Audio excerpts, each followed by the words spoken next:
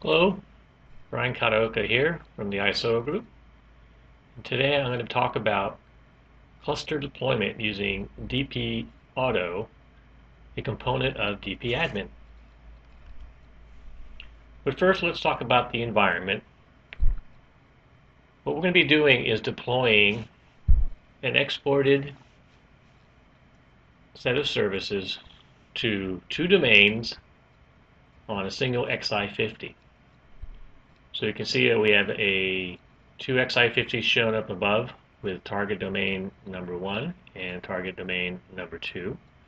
And then we have DP admin, which resides on a Linux server.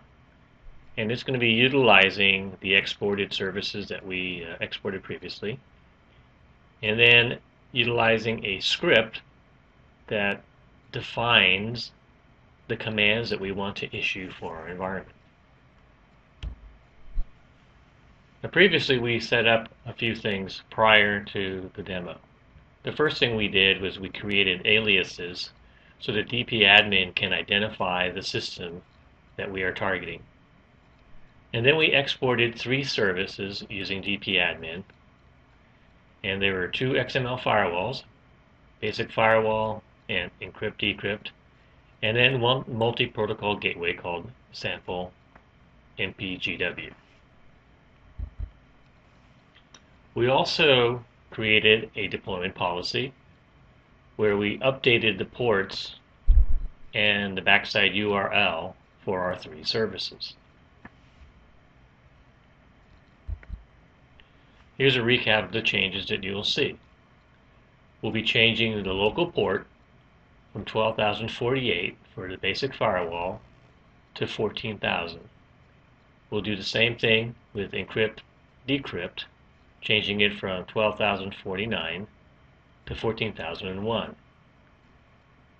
If we look at sample MPGW, we're going to be changing the backside URL from dev.com to staging.com. Now let's talk a little bit about the DP Auto XML file. What this file does is creates the script or the choreography of the deployment. So a couple of important points. First, we have to create a script, DP script node, and give it a unique deployment ID. For our DP flow, we want to identify the appliance that we'll be deploying to. And in this case, we call it blue. Now you notice that there's a DP flow followed by a set of DP commands. The way DP auto works is for every script you can have multiple flows which means it can deploy to multiple appliances at the same time. Within each flow you choreograph the commands you wish to execute in the order that you want to execute them. So if we were to follow this, our DP flow for our first node, the first thing we do is do a save checkpoint. And we give it a unique name for our checkpoint name. We follow that with a save. And then we reset the domain to clear out all of the existing services. And then we save once again. And we follow that up with our import, at which we point to the location of the exported file that we did previously. We follow that up with the flushing of cache because we may have had existing services out there that were loaded in cache. So we'll flush the style sheet cache and the document cache. And then finally, we save the configuration. Okay, so now we're ready for a demo.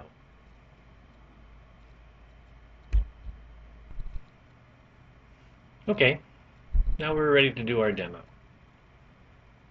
What we've done is brought up PuTTY, our Linux appliance, and we've typed in dp auto shell command, and we pass in the XML file that has our choreograph script.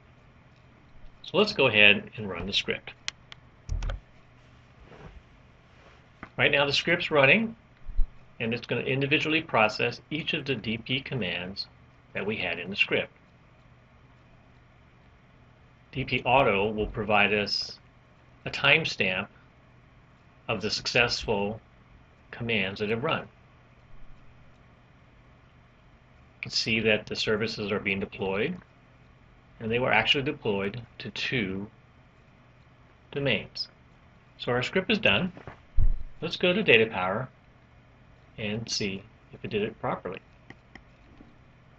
So we're going to log in first to domain number one.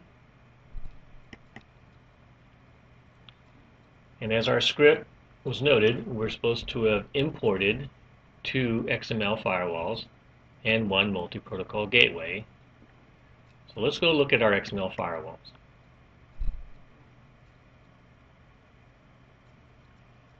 There's our two firewalls, basic firewall and encrypt decrypt.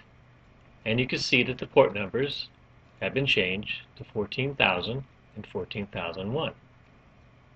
Now let's go over and see if our multi-protocol gateway was updated also. In this case, the multi-protocol gateway should have had its backside URL changed to staging.com. So there's our sample MPG, and here's staging.com. So that was successful. Now remember we deployed to two separate domains, so let's go take a look at our second domain.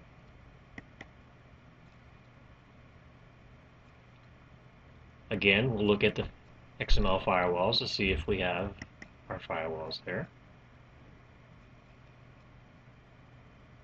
And we do. They're both here, and they both have different ports. Okay, so we've seen DP Auto deployed to two different application domains. They could have been two different data power appliances but you can see that it was very quick, very simple, and very easy to use. So that's the end of our demo. Thank you very much.